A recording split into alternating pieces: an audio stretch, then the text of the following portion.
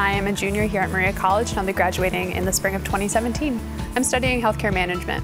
My dream job is to be in charge of a community outreach program for one of the larger hospitals. I was between Penn State and Maria College. I chose Maria College because it did have small class sizes. I like that one-on-one -on -one learning. I feel like I'm getting a better education because of it. So if I don't understand something, I can ask why and not feel like, oh, I'm raising my hand in one of 50.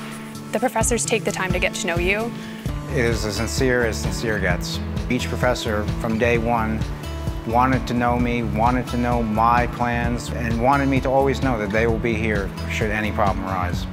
The courses that most stick out to me, the computer technology courses and the networking courses because of how much is now dependent on technology.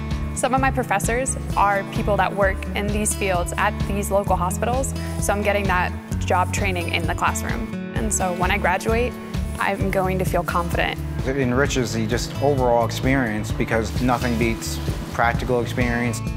I feel like this college always has my goals in mind. When I went to career services, when it was time for me to get an internship, within a week they had six different opportunities for me. They were very interesting and different. What comes next after my time spent here at Maria College will be my eventual enter back into the workforce. I don't feel that I could be any more prepared anywhere else. Maria has made me career ready. Because I plan on going to grad school, Maria's affordable tuition helps me keep my options open. With Maria, I will be ready. I'm so honest with that. I'm confident with each and every step I take that there will always be a better future for me because of what I've done here.